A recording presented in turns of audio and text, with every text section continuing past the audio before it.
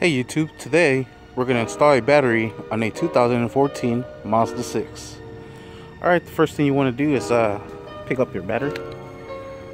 Slap your battery in place. Just like so. Put on the battery bracket. Just like so. Put everything into place.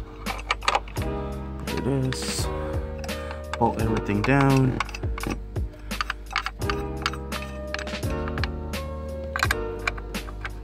Finish them off tying them with a tool.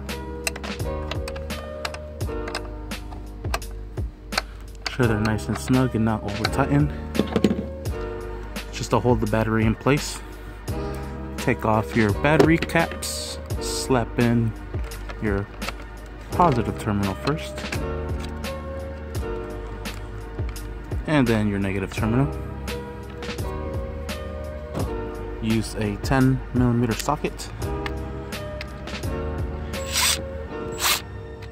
and I'm gonna need both hands because this back is spinning.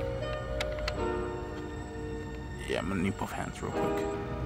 Alright and just finish tying them down. Just like so. And the negative terminal. Sweet.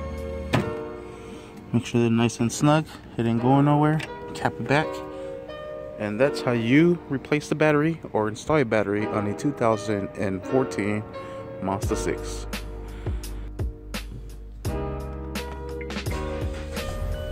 Sweet. Thank you for watching. Please like and subscribe. Don't forget to hit that bell.